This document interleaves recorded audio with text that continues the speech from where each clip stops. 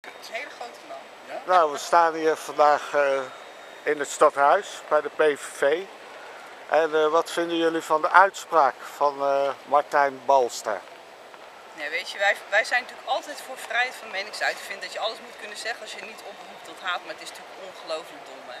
Deze man heeft zichzelf zo gedisqualificeerd door dit te zeggen. Ik bedoel, niemand neemt hem weer serieus. Ik bedoel, hoe achterlijk ben je als je dat soort dingen roept in zo'n soort wijk? Ja, wij ik, vinden het gewoon echt belachelijk. Ik, eh, ja de meesten vinden het Ja. belachelijk.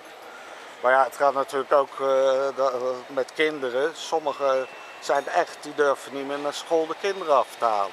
Ja. Dan moeten ze de neus schoon. Ja, want je wordt wel op aangekeken. Nou, het is gewoon belachelijk. Gewoon belachelijk. Maar dat hebben we tijdens het debat al gelijk gezegd, weet je wel. Die man is gewoon van een andere planeet. Ja, en weet je wat ik het lulligste vind?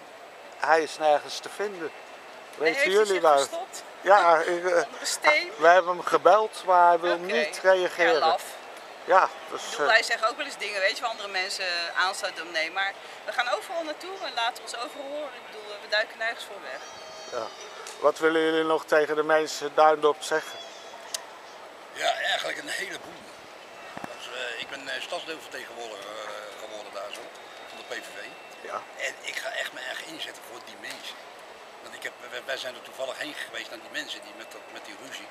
En met die, met die, dat die 12 Marokkanen of 7 Marokkanen die, die spoten naar boven doen en allemaal zo lopen. Die mensen bij hele oudere mensen die, die er helemaal niks mee te maken hebben. Die zaten met de handen omhoog. Zaten ze gewoon in de kamer. Ja. Nou, daar gaan wij heen, daar gaan we mee praten. Ik wil, wij willen daar wat voor doen. En, en wat die, hoe heet die vent, die uh, Bals eh, dingen. ja Balster. Nou ja, nou, ik wil hem niet eens kennen ook, want het is natuurlijk, ja, kijk, vrijheid van meningsuiting is ook. Iedereen kan mij ook afrekenen op wat ik zeg. Maar je moet wel reageren en je, je, je moet wel een beetje je hersens bij elkaar halen. Ja, Ik- ja. Ik heb er ook niet veel hoor, dat zeg ik ook eerlijk hoor. Maar wat ik heb, maar toch genoeg hoor.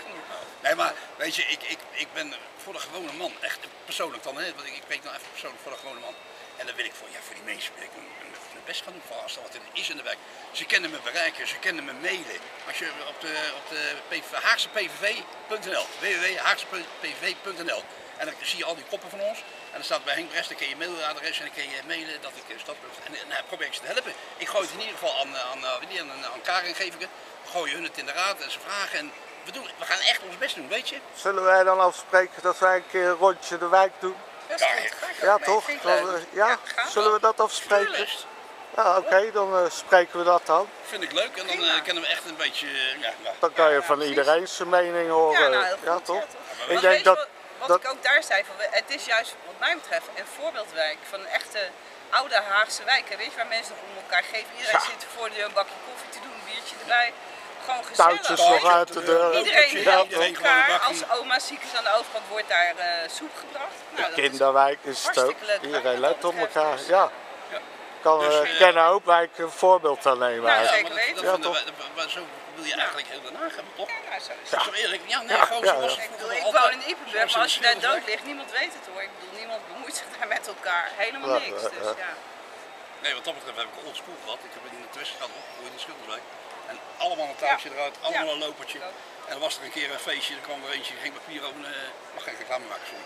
Die ging, maar die bestaat nog niet meer geloof. En eh, hoe heet het, die, die ging een kratje bier halen en de ander haalde een fles eh, cola. Die had nog een baakhoutje van, van Spanje over. Dan had je gewoon een feestje, dat was altijd Ja. gezellig. Maar dat kent tegenwoordig niet meer. Nee, nee. En dat willen we weer terug hebben.